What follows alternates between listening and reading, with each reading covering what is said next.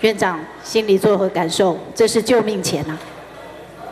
我感到非常非常的遗憾。不忘把风灾和总预算绑一起，绿营立委平座球和院长一搭一唱。各地对我提出的明年要怎么样来做系统性治水，好像我只有一句话告诉他：等我争取立法院的预算，再来答复各位吧。明年度总预算遭封杀，先是遗憾，又是无奈。卓院长口中的争取预算，这说法再也无法接受。国民党立委王宏威指称，即便是明年治水预算，若编列在前瞻，就是延续性预算，根本没受影响。就算不是前瞻预算，灾防法五十七条也规定，可排除预算相关规定，钱一样可以挪之使用。不过国玉请在脸书两点回击，灾害延续性是可能跨年度，而预算法五十四条补充规定，灾害准备金审查完才能使用。去年度审查今年度的预算的时候，全部都已经把它审好、审满、编好、编满了。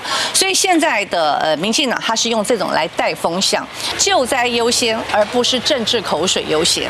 郭玉琴委员呢，你恐怕要找家教了哈，这样子的一个恶补的方式啊，对预算完全错误啊。摊开预算法第五十四条条规定，除了新兴计划需审议后才能动支，原本的计划像是每年都有的灾害准备金不受影响。民众党团也在脸书加码，前瞻五期治水预算高达一百零一亿，还有七十项未发包，要执政党不要再骗了。而眼看因为风灾，立法院长韩国瑜邀请朝野吃的和解饭先喊卡，但这饭局胎死腹中，预计在十月十一号要登场。我希望行政院要拿出诚意，跟我们啊在野党的啊委员来做充分的沟通协调说明。就盼着饭局能打破两院的预算僵局。TVB 新闻吴慧宁宣台北采报道。